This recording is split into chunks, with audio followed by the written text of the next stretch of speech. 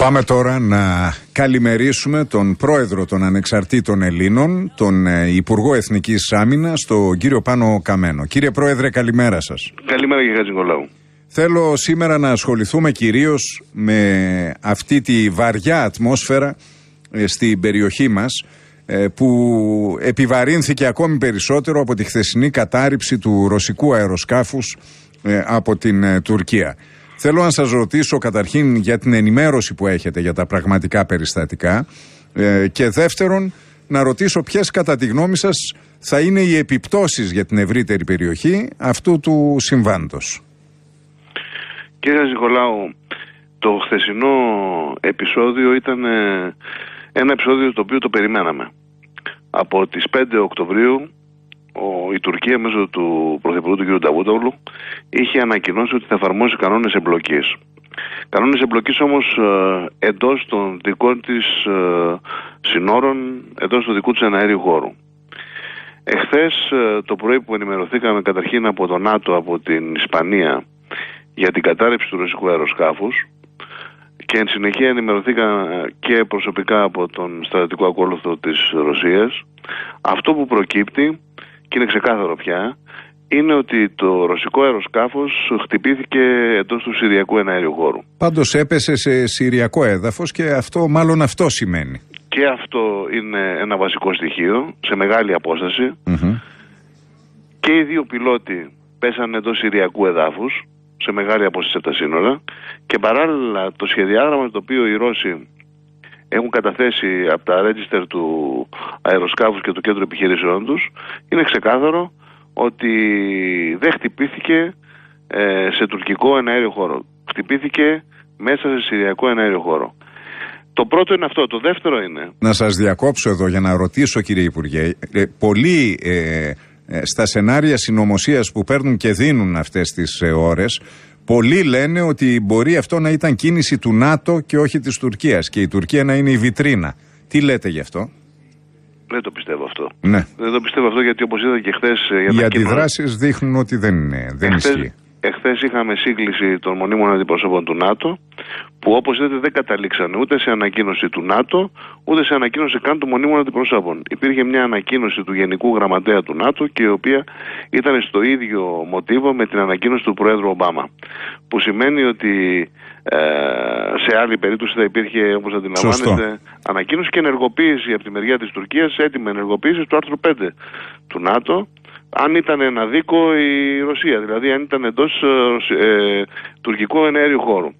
Θα, πούμε, θα σας πω δε, ότι υπάρχει και ένα δεύτερο ε, περιστατικό, το οποίο δεν πρέπει να περάσει στα ψηλά. Η δολοφονία εχμαλώτου, που παραβιάζει... Αυτό είναι τρομερό. Τις, ε, Αυτό είναι πολύ χειρότερο, έχετε δίκιο. Έτσι.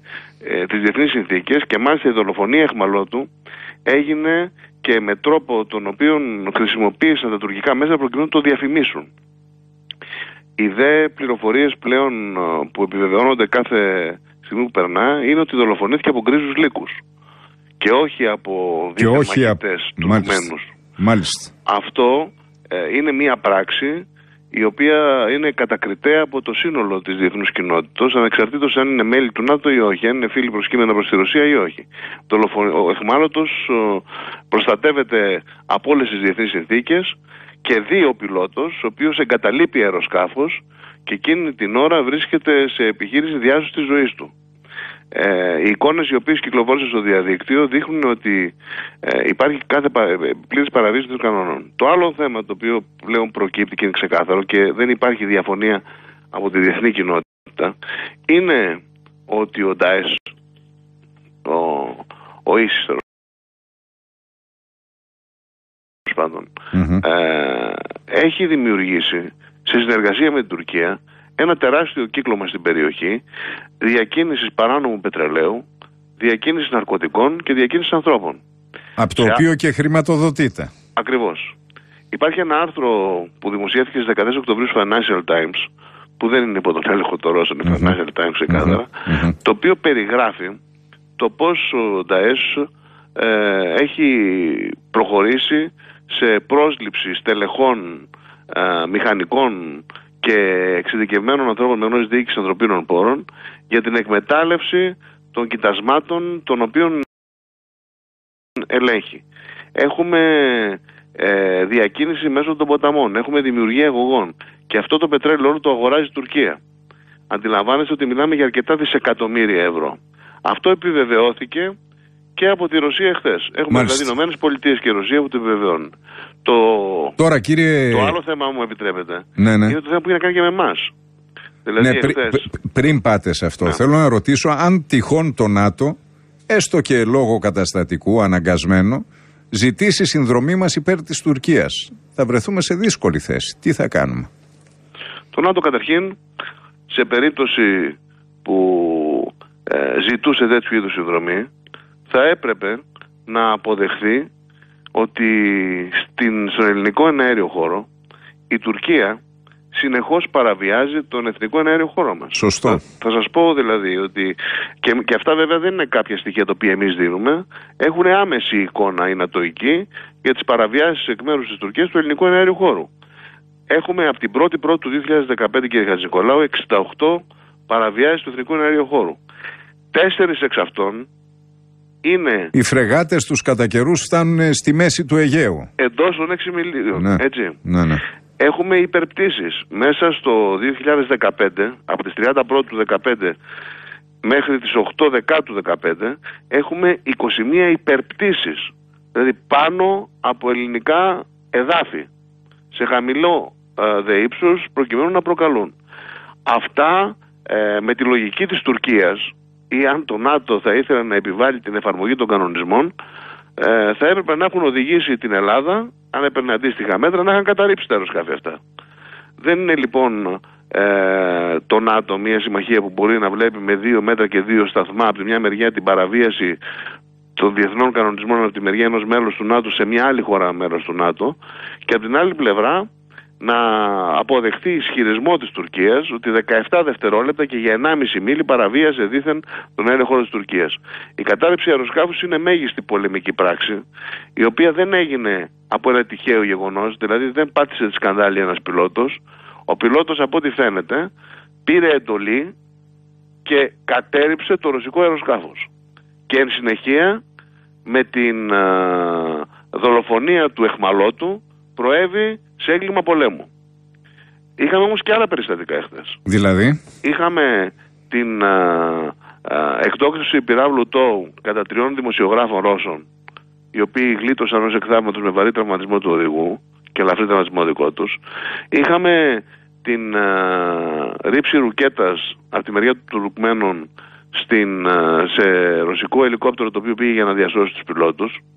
Είχαμε τη δολοφονία ενός άλλου πεζοναύτη Ρώσου, από ό,τι φαίνεται, και έχουμε μία ε, κλιμάκωση στην περιοχή εκείνη. Η περιοχή αυτή, θέλω να σας πω, ότι είναι μια περιοχή όπου ε, ευθύνεται για τη διακίνηση του πετρελαίου, αλλά και έχουν ε, χτυπηθεί στόχοι που αποδεικνύεται ότι υπάρχει διακίνηση όπλων από την Τουρκία προς τους ε, αντάρτες ε, και τρία κομβόι είχαν χτυπηθεί. Ένα από τα κομβόι αυτά χτυπήθηκε χθες στις 3 και 35 τα ξημερώματα πριν δηλαδή ρίξουν το αεροσκάφος.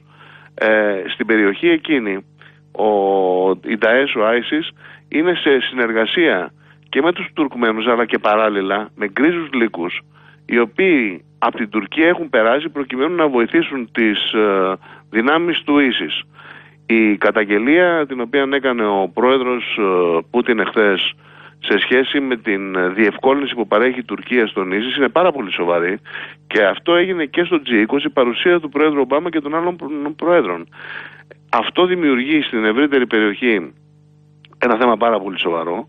Και μάλιστα σε μια περίοδο που η Ευρωπαϊκή Ένωση προκειμένου να αποτρέψει το κύμα των μεταναστών πρώτον ενισχύει την Τουρκία με 3 δισεκατομμύρια ευρώ και δεύτερον ξεκινάει ο διάλογος και άνοιγμα κεφαλαίων για την ε, είσοδο της Τουρκίας στην Ευρωπαϊκή Ένωση. Αυτά όλα ε, θα πρέπει να τα συνυπολογίσουμε.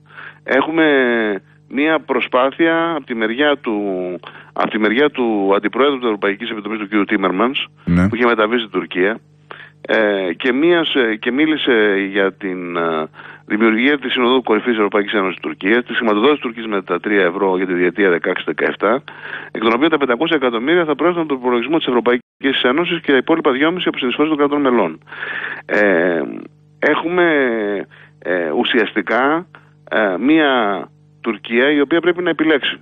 Εάν θέλει να είναι μέλος της Ευρωπαϊκής Ένωσης και του ΝΑΤΟ, να σέβεται τους διεθνείς κανονισμούς του ΟΗΕ για την προστασία των εχμαλώτων, ή μια Τουρκία η οποία θα λειτουργεί με τη λογική των κρίζων λύκων, θα δολοφονεί εχμαλώτους και θα καταρρύπτει αεροσκάφη εκτός των δικών της ε, ε, ε συνόρων. Τώρα, μήπως, μήπως η στιγμή είναι ε, ευνοεί το να θέσετε το θέμα των συνεχών τουρκικών παραβιάσεων στο Αιγαίο; Να το θέσετε στο ΝΑΤΟ και στους διεθνείς οργανισμούς; Κύριε Ζικολάου, το θέτω σε κάθε δική μου, όπως και όλοι οι Υπουργοί Άμυνας Ελλάδος, το θέτω σε κάθε Εννοώ συνδέοντάς το με αυτό που συνέβη βέβαια. Ξεκάθαρα. Ναι. Εχθές, μάλιστα, ε, οι οδηγίες που εδόθησαν στο μόνιμο αντιπρόσωπο ήταν ότι του χορηγήσαμε τις τελευταίες παραβιάσεις του εθνικού εναρίου χώρου, προκειμένου να κατευθούν στο ΝΑΤΟ. Έκανε αναφορά ο μόνιμος αντιπρόσωπός μας ε, εκεί. Τα στοιχεία αυτά δόθησαν και σε όλες τις χώρες μέρες του ΝΑΤΟ. Ε, τα δώσαμε και στη Ρωσία. Είναι ξεκάθαρο ότι εδώ πέρα υπάρχουν δύο πολιτικές. Αυτό πρέπει να σταματήσει άμεσα, διότι εκτός από το ότι θα θυμίσω ότι η πολεμική αεροπορία έχει νεκρούς σε καιρό ειρήνης. Νεκρούς όπως ο Ηλιάκης και άλλοι που δολοφονήθηκαν ουσιαστικά λόγω του ότι η Τουρκία παραβιάζει το εθνικό εναέριο χώρο και εμείς μόνιμα αναχαιτίζουμε όπως έχουμε κάθε υποχρέωση στον εθνικό εναέριο χώρο κάθε έναν που παραβιάζει το εθνικό εναέριο χώρο μας. Όπως και κάθε πλοίο το οποίο δεν κάνει ασφαλή διέλευση, δηλαδή με ανάδυση της ελληνικής σημαίας, με έπαρση της ελληνικής σημαίας, συνοδεύεται από ελληνικά πλοία. Πέρσι είχαμε το φαινόμενο 72 πλοία της Τουρκίας να βρίσκονται μεταξύ διεθνών υδάτων και ελληνικών χωρικών υδάτων χωρίς να κάνουν ασφαλή διέλευση. Και βεβαίως βγήκε όλος ο στόλος έξω, 72 πλοία, τα οποία τους αναχέτησαν εν θαλάσση. Αυτά ε, είναι στοιχεία τα οποία πρέπει να ληφθούν απόψε από τη διεθνή κοινότητα. Όπως πρέπει να ληφθεί υπόψη ότι πέραν το ότι θρυνούμε ήρωες που πέσανε εν ώρα καθήκοντος σε καιρό ειρήνης, αλλά με πολεμικές συνθήκες. Στο, στο ΝΑΤΟ, αν τεθεί θέμα, τι θα ψηφίσετε;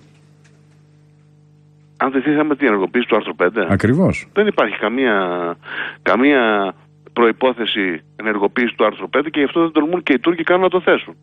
Δεν θα υπάρξει, λέτε. Ενεργοποίηση του άρθρου 5 και Χατζη Νικολάου. Αν, αν τυχόν υπάρξει, Μα, θα βρεθείτε σε δύσκολη θέση. Σε καθόλου δύσκολη θέση. Τι θα κάνετε; Διότι κύριε Νικολάου, για να ενεργοποιηθεί το άρθρο 5, θα πρέπει μια χώρα μέρος του ΝΑΤΟ να έχει δεχτεί επίθεση στο έδαφο ή στον αέριο χώρο της. Θα βρεθείτε σε δύσκολη θέση γιατί θα πιεστείτε ενώ. Μα δεν, έχουμε, δεν υπάρχει κανένα στοιχείο. Κανένα στοιχείο που μπορεί η Τουρκία να το. Έχετε, έχετε την άποψη, και νομίζω δεν έχει κανεί την άποψη, ότι αν η Τουρκία είχε τη δυνατότητα να αποδείξει ότι υπήρχε Θα το είχε κάνει ήδη, λέτε. Θα το είχε κάνει ήδη και όχι, θα φωνάζανε μάλιστα ε, μαζί με την Τουρκία και αρκετοί οι οποίοι περιμένουν με κάθε ευκαιρία να επιτεθούν στη Ρωσία. Η πραγματικότητα ποια είναι; Η πραγματικότητα είναι ότι αυτή τη στιγμή η Ρωσία στην περιοχή εκεί κάνει κοινές επιχειρήσεις με τη Γαλλία και το Ηνωμένο Βασίλειο. Έχουμε ουσιαστικά μετά την κρίση στην, στην Ουκρανία μια πρώτη προσέγγιση μεταξύ του ΝΑΤΟ και της Ρωσίας και καλώς γίνεται αυτό. Εμείς το έχουμε θέσει από την πρώτη στιγμή αυτό, ότι πρέπει η διεθνής κοινότητα να συνεργαστεί για το φαινόμενο του ΝΤΑΕΣ και της, ε, του Ισλαμικού φονταμενταλισμού και ότι στο ΝΑΤΟ μάλιστα είχα πει εγώ ότι ε, τα σενάρια αυτά που βλέπουμε και τις ασκήσεις που κάνουμε στο Βορρά και τους φόβους που έχουν χώρες όπως η Πολωνία, η Σλοβενία, η, οι χώρες του Βορρά σε σχέση με τη Ρωσία είναι ένα θέμα που ευχαρίστως να το δούμε με τη μορφή σενάριων, αλλά η πραγματικότητα είναι ότι ο νότιος τομέας του ΝΑΤΟ κινδυνεύει από την ύπαρξη των ε, Ισλαμοφασιστών, οι οποίοι έχουν μια τεράστια οικονομική ε, ε, δύναμη που προκύπτει και από την βοήθεια που εισπράττουν από χώρες που συνεργάζονται όπως η Τουρκία. Είναι ξεκάθαρο αυτό. Εμείς δεν μπορούμε να ενεργοποιήσουμε το άρθρο 5 επειδή πιθανώς η Τουρκία να θελήσει να εμπλέξει το ΝΑΤΟ σε μια επιχείρηση που έκανε εκτός των δικό της, του δικού του σενάριου χώρου. Και στο κάτω-κάτω μια χώρα του ΝΑΤΟ, μια χώρα που θέλει να μπει μέρος της Ευρωπαϊκής Ένωσης, δεν είναι δυνατόν να ανέχεται ή να συνεργάζεται ή να χρηματοδοτείται ή να διαπραγματεύεται είτε να έχει οικονομικές σχέσεις με τους ε, Ισλαμοφασίστες οι οποίοι δολοφονούν παιδιά, γυναίκες, στα, στα οριά της Συρίας οι οποίοι διακινούν ανθρώπους, οι οποίοι διακινούν ναρκωτικά από το Αφγανιστάν, οι οποίοι διακινούν παράνομο πετρέλαιο. Αλλή μόνο. Μάλιστα.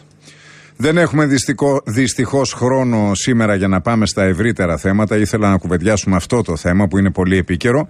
Μου χρωστάτε μία συνέντευξη εφόλης της ύλης, κύριε Είμαι Πρόεδρε. στη διάθεσή μια ένα σχόλιο θα μου επιτρέψετε μόνο. Παρακαλώ. Διότι παρακολουθώ αυτά που γίνονται στη Νέα Δημοκρατία Ναι. και θεωρώ ότι είναι θλιβερά και επιβεβαιώνομαι δυστυχώς μετά από χρόνια διότι η, το κάλεσμα που έκανε ο κύριος Σαμαράς σε στελέχη που αποτελούσαν τους υβριστές του Καραμαλή και της Νέας Δημοκρατίας και η ενσωμάτωσή τους στη Νέα Δημοκρατία οδηγεί τελικά αυτή την παράταξη την ιστορική σε μια εικόνα διάλυσης που θα συνεχίσει να υπάρχει και θα επέρθει διάλυση όσο τους ανέχονται μέσα στη Νέα Δημοκρατία αυτούς τους ακραίους Σε ποιους αναφέρεστε, Αναφέρομαι στους στον προ- κύριο Γεωργιάδη, στον κύριο Βορύδη, στον κύριο Πλεύρη, στην ομάδα Σαμαρά, η οποία με την ε, ε, είσοδο όλων αυτών στο κόμμα που έβριζε πριν από λίγο καιρό, ε, δημιούργησε την όλη κατάσταση. Εγώ δεν έχω καμιά αμφιβολία ότι ό,τι συμβαίνει από αυτά που συμβαίνουν σήμερα είναι ένα σχέδιο το οποίο από την αρχή είχαν εκπονήσει προκειμένου να τεινάξουν στον αέρα μια ολόκληρη και ιστορική παράταξη. Σας ευχαριστώ Εγώ κύριε ευχαριστώ Πρόεδρε. πολύ. Καλημέρα σας. Καλημέρα σας.